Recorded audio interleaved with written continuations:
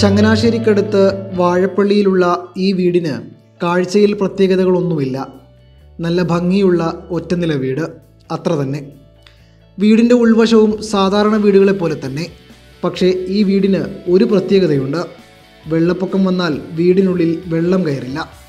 വെള്ളത്തിൽ പൊങ്ങിക്കിടക്കുന്ന രീതിയിലാണ് ഈ വീട് നിർമ്മിച്ചിരിക്കുന്നത്. വെള്ളം പത്തടി പൊങ്ങിയാൽ വീടും പൊങ്ങും പത്തടി. വാസ്തുശില്പിയും ഡിസൈനറുമായ ഗോപാലകൃഷ്ണൻ ആചാരിയാണ് വീട് രൂപകൽപ്പന ചെയ്തത്. അഞ്ചു വർഷത്തെ പ്രയത്നമുണ്ട് ഇതിന് പിന്നിൽ. കല്ലും മണ്ണും മണലും മെറ്റലും കട്ട തടി സിമെന്റ് ഇതൊന്നും ഇല്ലാതെ എങ്ങനെ ഒരു വീട് നിർമ്മിക്കാം എന്ന ഒരു ചിന്തയിൽ നിന്നാണ് ഞാൻ ആദ്യമായി ഈ ഒരു ആശയത്തിലേക്ക് വന്നത്.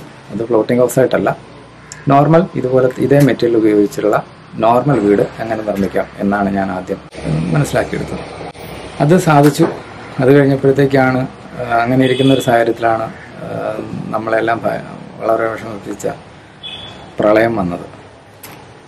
അപ്പോൾ എനിക്കത് വലിയ വിഷമായി ഞാനത് അതിന് വേണ്ടിയിട്ട് ഈ എന്റെ ആശയത്തെ എങ്ങനെ അതുമായിട്ട് ബന്ധിപ്പിക്കാം അല്ലെങ്കിൽ ആ പ്രളയത്തെ ജനങ്ങളിൽ പ്രളയത്തിൽ നിന്നും ജനങ്ങളെ എങ്ങനെ രക്ഷിക്കാനായിട്ട് ഈ മാർഗം ഉപയോഗിക്കാം എന്ന് ചിന്തിച്ചു.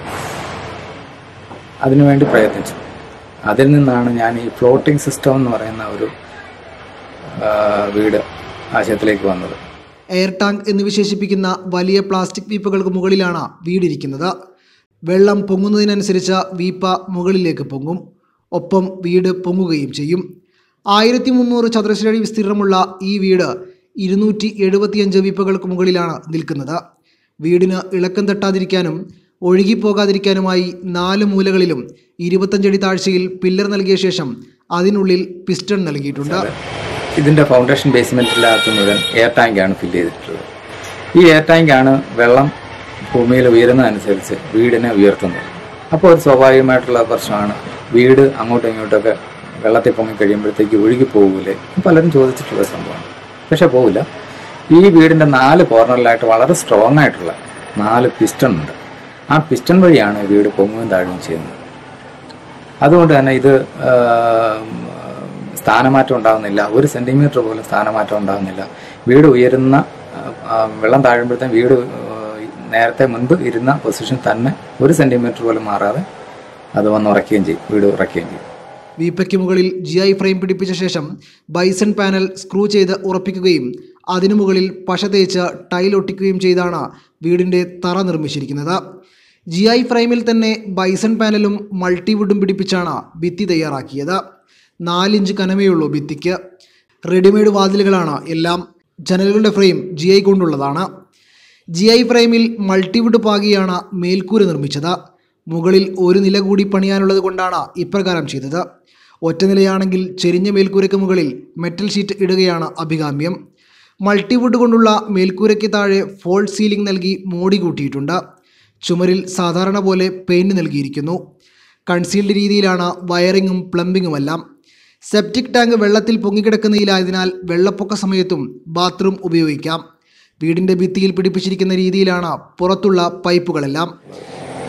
പത്തടി വരെ വരാനുള്ള കപ്പാസിറ്റി ഉണ്ട് വീടിന്. ഇത് കൂട്ടുകയോ ചെയ്യാം. പതിനഞ്ചടിയോ അതിനനുസരിച്ച് പിസ്റ്റോണിന്റെ കപ്പാസിറ്റി കൂട്ടിക്കൊടുക്കണം എന്നുള്ളത്. പിന്നെ ഇതിന് ഉപയോഗിച്ചിരിക്കുന്ന മെറ്റീരിയൽ അത്രയും തന്നെ. വളരെ ലോങ് ലൈഫ് ഉള്ള മെറ്റീരിയൽ ലോങ് ലൈഫ് മെറ്റീരിയൽ ഞാൻ ഇത് പല മെറ്റീരിയൽ കൊണ്ടും പരീക്ഷണങ്ങൾ നടത്തി ഓരോ മെറ്റീരിയൽ ഉപയോഗിക്കുമ്പോൾ അതിന്റെ ഒരു കുറേ ഡ്രോബാക്കുകൾ ഉണ്ടാവും. അത് മാറ്റി വേറെ മെറ്റീരിയൽ ഉപയോഗിച്ച്. അങ്ങനെ പരീക്ഷ പരീക്ഷിച്ചാണ് ഞാൻ അവസാനം ഈ ഒരു മെറ്റീരിയലുകളിലേക്ക് വന്നത്. ഇതിനകത്ത് ഉപയോഗിച്ചിരിക്കുന്ന മെറ്റീരിയൽ കൂടുതലും ഒറിജിനൽ ജി പൈപ്പും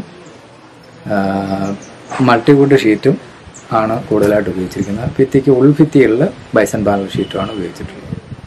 പിന്നെ വയറിംഗ് എല്ലാം കൺസിൽഡ് വയറിംഗ് ആണ്. പ്ലംബിങ്ങും കൺസിൽഡ് ആണ്. മറ്റുള്ള നമുക്ക് എല്ലാ വീടുകളിലും കാണുന്ന പോലുള്ള എല്ലാ ആധുനിക സംവിധാനങ്ങളും ഈ വീട്ടിനകത്ത് ഉണ്ട്. ഉപയോഗിക്കാം. Tile A C cupboard modern കബോർഡുകൾ modern kitchen മറ്റേ ബെഡ്റൂം കബോർഡുകൾ അങ്ങനെയുള്ള എല്ലാ ബാത്റൂം മോഡേൺ ബാത്റൂം ഫിറ്റിങ്സുകൾ എല്ലാ സൗകര്യങ്ങളും ഇതിനകത്ത് ഉപയോഗിക്കാൻ സാധിക്കും. സാധാരണ നോർമൽ വീടിനെ അപേക്ഷിച്ച് ഈ വീടിന് കോൺക്രീറ്റ് കെട്ടിടങ്ങളെ അപേക്ഷിച്ച് വളരെ കൂടുതൽ ലൈഫുള്ള കെട്ടിടമാണ്. അതാണ് ഇതിനകത്ത് ഉപയോഗിച്ചിരിക്കുന്ന മെറ്റീരിയലൊക്കെ ലോങ് ലൈഫ് മെറ്റീരിയലാണ്. അതുകൊണ്ട് തന്നെ കൂടുതൽ കാലം നിലനിൽക്കും ഈ വീട്. ചിലവ് കുറവാണ്. ഒരു സാധാരണ കോൺക്രീറ്റ് കെട്ടിടത്തിനെ അപേക്ഷിച്ച് മുപ്പത് ശതമാനത്തോളം ചിലവും ഈ വീടിന് കുറവാണ്.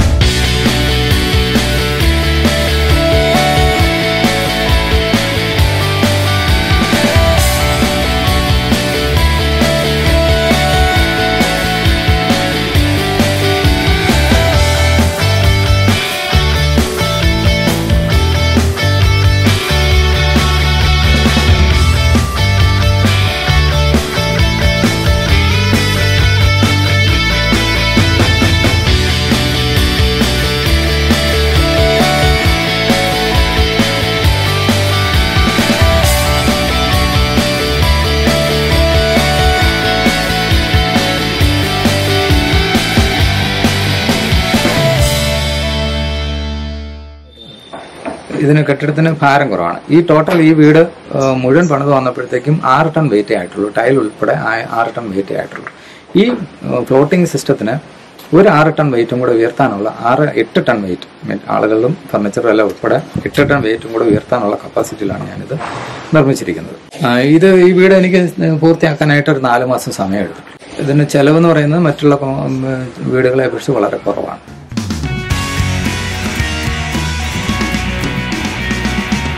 നാല് മാസമേ വേണ്ടി വന്നുള്ളൂ ഈ വീട് പൂർത്തിയാക്കാൻ.